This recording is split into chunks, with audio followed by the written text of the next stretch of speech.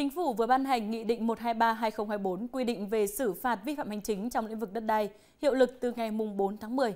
Đây sẽ là cơ sở để ngăn chặn những hành vi vi phạm về đất đai.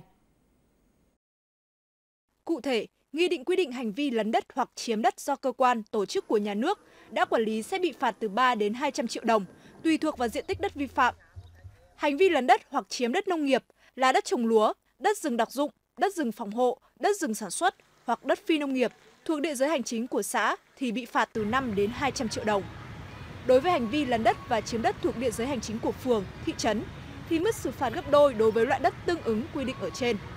Mức phạt tối đa không quá 500 triệu đồng đối với cá nhân và không quá 1 tỷ đồng đối với tổ chức.